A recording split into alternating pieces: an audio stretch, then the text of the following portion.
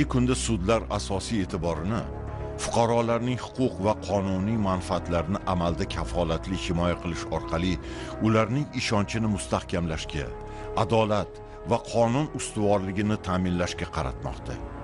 Jinoyat ishlari bo'yicha surxondaryo viloyati tuman shahar sudlarining joriy yilning o'tgan davridagi faoliyati natijalari ham bu fikrni yaqqol tasdiqlaydi.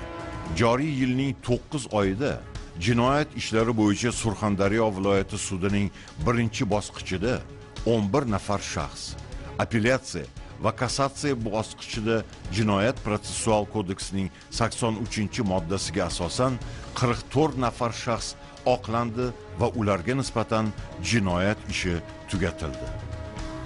Jinoyat ishlari bo'yicha surxondaryo viloyat sudlari tomonidan 2019 yil 9 oy davomida 1486 shaxsga nisbatan 1132 ta jinoyat ishi ko'rib chiqildi ushbu ko'rib chiqilgan jinoyat ishlarining 531 tasi sayyor sud majlisida bu demakki 46 o'nda 91 foizini sayyor sud majlislarida ko'rib chiqildi jinoyatchilikni oldini olish va jinoyatga sodir qilishiga imkon bergan shart sharoitlarni bartaraf qilish yuzasidan xususiy hajmlar chiqarildi taraflarni yarashganligi munosabatidan ikki yuz qirq bir shaxs ularga nisbatan bo'lgan jinoyat ishi harakatdan tugatildi. Jamoatchilikning kafilligi asosida demakki yoshlar ittifoqining kafilligi asosida o'n bir shaxs. Xotin qizlar qo'mitasining kafilligi asosida to'qqiz shaxs. Mahalla fuqarolar yig'inini kafilligi yuzasidan ellik nafar shaxs ozoddan mahrum qilish bilan bog'liq bo'lmagan jazo tayinlandi aholi bilan o'quv muassasalari korxonalarda huquqiy targ'ibot ishlarini ko'proq olib borishga harakat qilyapmiz 1974 yili 11 yanvar kuni termiz shahrida tug'ilgan asadullo boboyev surxondaryo viloyat ichki ishlar boshqarmasi boshlig'ining o'rinbosari lavozimida ishlab kelayotganida unga nisbatan o'zbekiston respublikasi jinoyat kodeksining 210 moddasining 3 qismi bilan jinoyat ishi qo'zg'atilib 2014 yilning 16 sentyabr kuni qamoqqa olinadi. Emishki asadullo boboyev surxondaryo viloyat ichki ishlar boshqarmasi boshlig'i o'rinbosari lavozimida ishlagan davrida mas'ul mansabdor shaxs bo'lib xizmat mavqeidan foydalanib 2011 yili 29 iyuldagi viloyat hokimligi yagona buyurtma injenering kompaniyasi bilan termiz shahridagi gavharnur mas'uliyati cheklangan jamiyati o'rtasida tuzilgan 70 million so'mlik pudrat shartnomasiga asosan termiz shahar ichki ishlar bo'limining 60 o'ringa mo'ljallangan oshxonani kapital ta'mirlash ishlarini bajargandan so'ng jamiyat rahbaridan 500 aqsh dollarini pora tariqasida olgan. Aslida hech qanday voqea sodir bo'lmagan. Safarovani sobiq milliy xavfsizlik xizmati surxondaryo viloyati bo'yicha boshqarmasining tergov bo'limini boshlig'i nodir to'raqulov tomonidan tazyiq o'tkazilganligi sababli e, jismoniy zo'rlik bilan qo'rqitganligi sababli ushbu ko'rsatmalarni berishga majbur bo'lgan.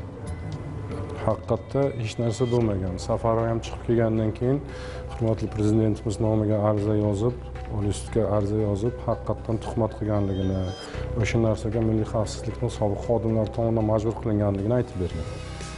2019 yil 5 sentyabr kuni jinoyat ishlari bo'yicha surxondaryo viloyat kassatsiya sudlov instansiyasiga sudlov hay'atida sudlanuvchi asadullo boboyevni o'ziga oid sud hukmiga nisbatan kassatsiya tartibida bergan shikoyatini jinoyat ishi bilan birga ko'rib chiqib quyidagilarni aniqladi.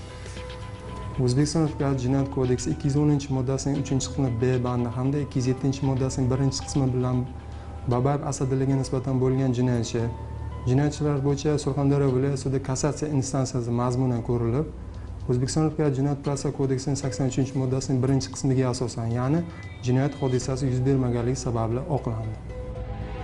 Dastlabki tergov organi tomonidan 1988 yili samarqand shahrida tug'ilgan abdulaziz aminov termiz tumanidagi qurilish firmasida ishlab kelayotgan paytda unga nisbatan o'zbekiston respublikasi jinoyat kodeksining 168 moddasi 4 qismining a bandi bilan ya'ni ko'p miqdorda firibgarlik jinoyatlari sodir qilganlikda ayblanib sudga yuborilgan.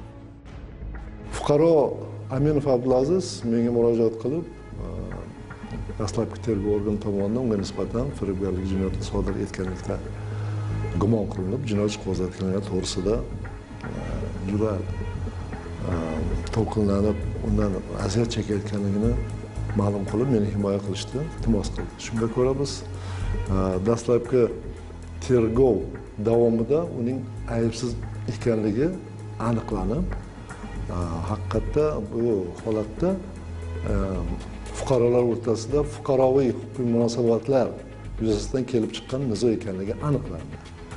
Shunday bo'lsada tergovchi tomonidan ayb e'lon qilindi bundan norozi bo'lib biz iltimosnomalar qildik shikoyatlar qildik lekin ular inobat olinmasdan ish sudga oshirildi. Sud davomida o'tkazilgan obyektiv har tomonlama haqiqatni aniqlashga qaratilgan tergov harakatlari natijasida haqiqatdan ham shu aminov abdulaziz firibgarlik jinoyatini sodir etmaganligi aniqlanib to'liq oqlandi. Sud tergovi davomida abdulaziz aminovni harakatida juda ko'p miqdorda firibgarlik qilishga qaratilgan maqsad bo'lganligi o'z isbotini topmadi.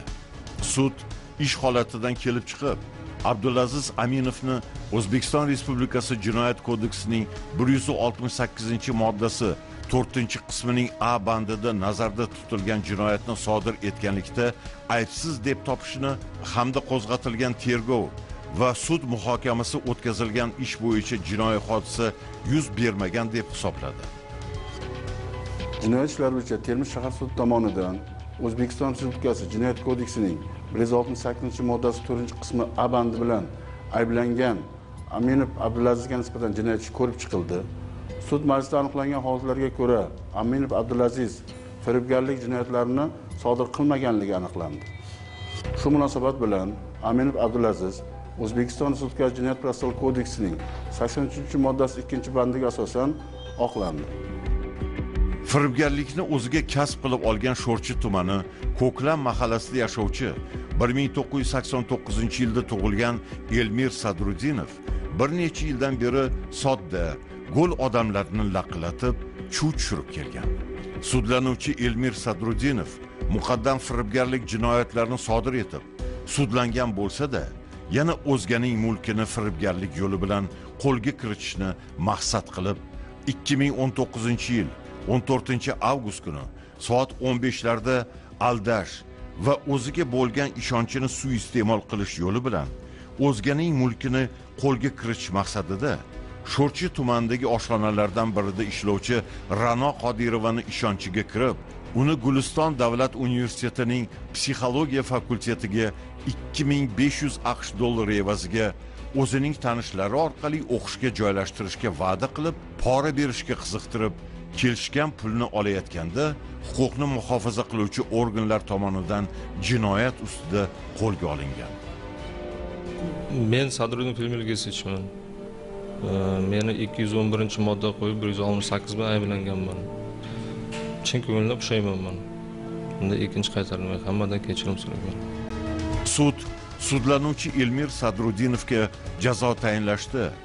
Uning aybiga iqrorligini qilmishidan chin ko'ngildan pushaymonligini oilaviy sharoitini oilada yagona boquvchi ekanligini qaramog'ida ikki nafar voyaga yetmagan farzandlari borligini hozirgi vaqtda tadbirkorlik bilan shug'ullanib kelayotganligini sho'rchi tumani ko'klam mahalla fuqarolar yig'ining iltimosnomasini jazoni yengillashtiruvchi holatlar deb baholab hukm qildi. Sadriddinov elmir ilgizich o'zbekiston respublikasi jinoyat kodeksini bir yuz oltmish sakkizinchi moddasi uchinchi qismi b bandi va yigirma sakkizinchi moddasi orqali ikki yuz o'n birinchi moddasi birinchi qismida nazarda tutilgan jinoyatlarni sodir etganlikda aybdor deb topilsin. Sadriddinov elmir ilgizovichga o'zbekiston respublikasi jinoyat kodeksining bir yuz oltmish sakkizinchi moddasi uchinchi qismi b bandi bilan har oylik ish haqini yigirma foizini davlat daromadiga ushlab qolgan holda ikki yil muddatga axloq axloqsizlash ishlari jazosi tayinlansin. Sadriddinov ilmir ilgisovich o'zbekiston respublikasi jinoyat kodeksining yigirma sakkizinchi moddasi orqali ikki yuz o'n birinchi moddasi birinchi qismi bilan jinoyat kodeksining ellik yettinchi moddasini qo'llab har oylik ish haqini yigirma foizini davlat daromadiga ushlab qolgan holda ikki yil muddatga axloqsizlash ishlari jazosi tayinlansin. Sadriddinov elmir ilgisovichga o'zbekiston respublikasi jinoyat kodeksini ellik to'qqizinchi moddasi tartibida tayinlangan jazolarni qisman qo'shish yo'li bilan uzil kesil har oylik ish haqini yigirma foizini davlat daromadiga ushlab qolgan holda ikki yil olti oy muddatga axloqsizlash ishlari jazosi tayinlansin. Sadriddinov elmir ilgisovichga o'zbekiston respublikasi jinoyat kodeksini oltmishinchi moddasi tartibida jinoyat ishlari bo'yicha oltinsoy tuman sudining 2019 yil 4 iyundagi hukmi bilan tayinlangan axloqsizlash ishlari jazosining o'talmagan 2 yil 3 oy 19 kuni ya'ni tayinlangan jazoga qisman qo'shilib uzil kesil o'tash uchun 20% davlat daromadiga ushlab qolgan holda 3 yil muddatga axloqsizlash ishlari jazosi tayinlansin. Sadriddinov ilmir ilgisovichga nisbatan o'zbekiston respublikasi jinoyat kodeksini 62 moddasiga asosan 2019 yil 21 oktyabrdan 2019 yil 19 noyabr kuniga qadar dastlabki qamoqda bo'lgan 29 kunini har bir kunini axloq tuzatish ishlari jazosining 3 kuniga tenglashtirilib 87 kun 2 oy 27 kun chegirib tashlansin va o'tash uchun 2 yilu 9 oy 3 kun axloq tuzatish ishlari jazosi qoldirilsin. Jazo hukmini ijrosini nazorat qiluvchi organlar belgilab beradigan joylarda o'tash belgilansin. Va jazoni o'tash muddati uning ish haqidan ushlab qolingan kundan boshlab hisoblansin. Jazo ijro jazoni ijro qilish sho'rish tuman ichki ishlar bo'limi probatsiya guruhi zimmasiga yuklatilsin. Sadriddinov elmir ilgisovichga nisbatan qo'llanilgan qamoqqa olish tarzidagi ehtiyot chorasi bekor qilinib darhol sud zalidan qamoqdan ozod qilinsin. Я мама оправдавшего Садрудинова Эльмира Ильгисовича. Я очень рада, что у нас такой гуманный суд. Спасибо, что объективно рассмотрели все дела. Я думаю, конечно, я своего сына не оправдываю в дальнейшем, что будет все у него хорошо. Он предприниматель э, фирмы Нурислам Ин- Инвест. У него есть рабочие. Я думаю, что он будет хорошо работать и служить своему, своей родине честно и, как сказать, добросовестно, что в дальнейшем таких ошибок не будет допускать. unday xatolarga boshqa yo'l qo'ymaymiz jinoyat ishlari bo'yicha denov tuman sudining ochiq sud majlisida. Denov tuman ichki ishlar bo'limi boshlig'ining to'rt nafar mahkumlarning jazoning o'talmay qolgan qismidan muddatdan oldin shartli ravishda ozod qilish haqidagi taqdimnomasi ko'rib chiqildi. Denov tuman ichki ishlar organi e, probatsiya guruhida hozirgi kunda jazo muddatini o'tayotganlar besh yuz o'n to'rt nafar e, shaxsni tashkil etib shundan bugungi kunga kelib e, jazo muddatini o'tash davomida o'ziga to'liq xulosa chiqarganligi chin dildan qilgan ishidan pushaymonligi bo'lganligi sababli bugun jinoyat ishlari bo'yicha denov tuman sudiga taqdimnoma orqali ularni sudga olib keldik. 1975 yili surxondaryo viloyatida tug'ilgan abdusattor allamurodov shu yilning 15 mart kuni jinoyat ishlari bo'yicha chinoz tuman sudining hukmiga ko'ra o'zbekiston respublikasi jinoyat kodeksining 167 moddasi ikkinchi qismining v g bandlarida nazarda tutilgan jinoyat sodir etganlikda aybli deb topilib jinoyat kodeksining 45 moddasiga asosan bir yil muddatga mansabdorlik va moddiy javobgarlik yuklatilgan lavozimlarda ishlash huquqidan mahrum qilinib oylik ish haqining 20 foizini davlat daromadi hisobiga ushlab qolgan holda bir yilu 6 oy muddatga axloq tuzatish ishi jazosi tayinlangan abdullamurod Abdusattor ramazonovichga nisbatan Denov tuman ichki ishlar boshlig'i tomonidan kiritilgan taqiqnomani qanoatlantirib, allamurod abdusotir Ramazonovich o'tolmay qolgan 10 oy 21 kun axloq jazosini shartli ozod qilamiz. Demak, sizga tushuntiraman, agar 10 oy 21 kun davomida jinoyat sodir qilsangiz, jazo 60-moddasi tartibida qo'shiladi. Sabab biz shartli ozod qilamiz Bu degani o'sha shartli tartibni buzsangiz, ozoddan e, jazo jazosi yana 60-moddasi tartibida ijroga kiradi.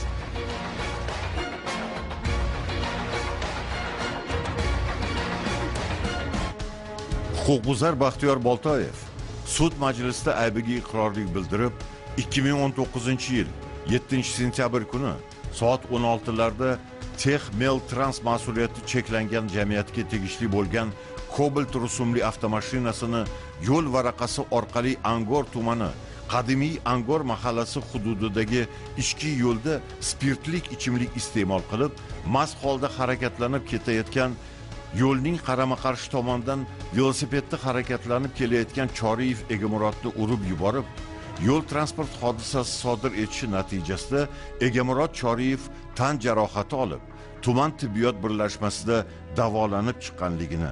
Hozirda undan kechirim so'rab barcha yetkazilgan zararni to'liq qoplab berganligini qilmishidan chin ko'ngildan pushaymonligini bayon qilib o'ziga nisbatan qonuniy yengillik berishni so'radi.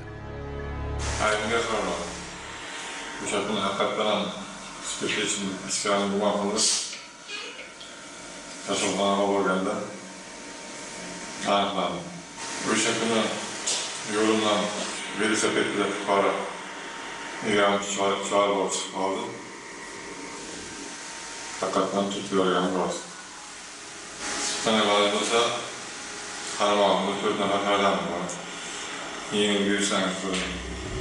boltayev baxtiyor rahmatullayevich o'zbekiston respublikasi ma'muriy javobgarlik to'g'risidagi kodeksining bir yuz o'ttiz birinchi moddasi birinchi qismi bir yuz o'ttiz uchinchi moddasi nazarda tutilgan huquqbuzarlik sodir etganlikda aybli deb topilsin. Boltayev baxtiyor rahmatullayevichga nisbatan o'zbekiston respublikasi ma'muriy javobgarlik to'g'risidagi kodeksining bir yuz o'ttiz birinchi moddasi birinchi qismi bilan barcha transport vositalarini boshqarish huquqidan bir yil olti oy muddatga mahrum qilinib o'zbekiston respublikasi ma'muriy javobgarlik to'g'risidagi kodeksning o'ttiz uchinchi moddasini qo'llab eng kam ish haqining o'n besh baravari miqdorda ya'ni uch million uch yuz qirq besh ming so'm miqdorda jarima jazosi. E, ma'muriy javobgarlik to'g'risidagi kodeksning bir yuz o'ttiz uchinchi moddasi bilan eng kam ish haqining besh baravari miqdorda bir million bir yuz o'n besh ming so'm jarima jazosi tayinlansin. Boltayev baxtiyor rahmatullayevichga nisbatan o'zbekiston respublikasi ma'muriy javobgarlik to'g'risidagi kodeksining o'ttiz to'rtinchi moddasini qo'llab uzul kesil og'irroq jazo barcha transport vositasi boshqarish huquqidan bir yil olti oy muddatga mahrum qilinib o'zbekiston respublikasi ma'muriy javobgarlik to'g'risidagi kodeks o'ttiz uchinchi moddasini qo'llagan holda eng kam ish haqining o'n besh baravari miqdorda uch million uch yuz qirq besh ming so'm jarima jazosi tayinlansin. Boltayev baxtiyor rahmatullayevichga nisbatan tayinlangan jazoning o'tash muddati ikki ming o'n to'qqizinchi yil o'n to'qqizinchi noyabr kunidan boshlab hisoblansin. Qarorni ijro qilishlik uchun surxondaryo viloyati ichki ishlar bo'limi yo'l harakati xavfsizlik boshqarmasiga yuborilsin jarima davlatga undirilsin. Qarorida norozi tomonlar ikki oy muddat ichida shu sud orqali viloyat ma'muriy sudiga kassatsiya prokuror esa protest keltirishga haqlidirlar. Xulosa o'rinda aytganda hayotda ro'y beradigan har bir jinoiy qilmish huquqbuzarlik zamirida avvalo e'tiborsizlik loqaydlik zimmadagi mas'uliyatni his etmaslik yotadi. Bundan tashqari hayotga hamisha ochiq ko'z bilan qarash sergak va hushyor bo'lish jamiyatimizda tinchlik osoyishtalik fuqarolar xavfsizligini ta'minlashning bosh mezonidir. Buni hech qachon unutmaslik kerak.